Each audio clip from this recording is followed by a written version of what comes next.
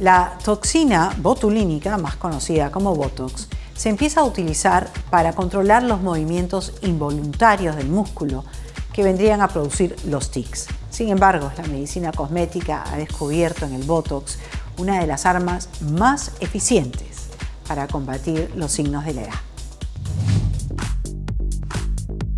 En la década de 1950, el doctor Vernon Brooks descubrió que una pequeña cantidad de toxina botulínica a través de una inyección podía relajar un músculo temporalmente. Aquel fue el primer paso hacia el amplio uso que tiene hoy para reducir visiblemente las arrugas. La toxina botulínica, o también conocido como Botox, es una sustancia que se usa para relajar los músculos del rostro y así poder atenuar y eliminar ciertas líneas de expresión. En el año 1987 se describen los primeros pasos de la toxina botulínica y su importancia en el campo de la rehabilitación con fines estéticos siendo aprobada por la FDA. La toxina botulínica, conocida como Botox, es una sustancia biocompatible con el ser humano, es decir, que no debería generar ningún tipo de alergia ni reacción en el cuerpo. La toxina botulínica principalmente se coloca en tres zonas. Primero, en la frente, para las líneas horizontales que se forman sobre todo en personas que son muy expresivas o que levantan mucho las cejas en el momento de hablar. Segundo, en el entrecejo, en los músculos corrugadores, que son los que generan unas líneas verticales, sobre todo en personas que fruncen mucho el ceño. Y tercero, en las patas de gallo, en el músculo periorbicular, para las personas que cuando sonríen se les marcan ciertas líneas de expresión al nivel de los ojos. El doctor Alberto Montero, especialista en medicina estética, nos explica a partir de qué edades pueden aplicarse.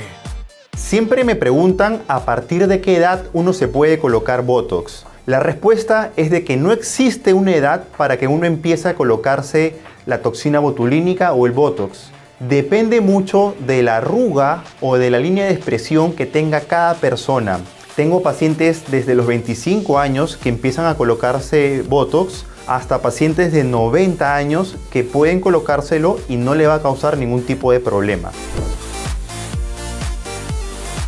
Si bien es cierto que la genética tiene que ver mucho con las arrugas y la aparición temprana de líneas de expresión en el rostro, existen factores por los cuales éstas se atenúan más, como fumar, exponerse al sol y estar gesticulando con frecuencia. El procedimiento es rápido, solo demora entre 15 a 20 minutos para poder aplicar en todas las zonas. El resultado lo comenzaremos a ver a partir del segundo o tercer día luego de la aplicación y va a durar por unos 4 a 6 meses.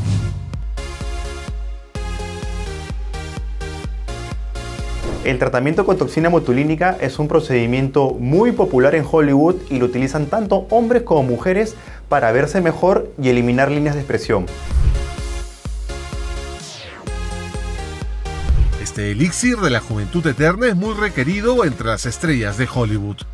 La matriarca de la familia Kardashian comparte con Kaylee y sus otras hijas una pasión por el perfeccionamiento de su rostro. Se dice que tendrían algunos retoques con Botox para mantener esa piel tan joven como siempre las vemos.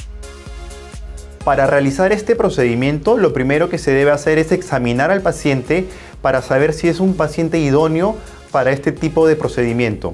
Le pedimos al paciente que haga ciertos gestos, que levante las cejas, que frunza el ceño, que sonría y ver si cuando hace estos gestos el paciente marca ciertas líneas o ciertas arrugas y a qué nivel lo genera. Es importante tomar fotografías para plasmar el antes y el después de una paciente. Se le limpia el rostro al paciente, se le retira el maquillaje, se realiza una marcación para ver en qué puntos exactos debemos colocar la toxina botulínica Colocamos un poco de hielo para adormecer la zona y comenzamos con la aplicación. Este procedimiento se puede realizar dos veces al año, siempre dependiendo de la piel y necesidad del paciente.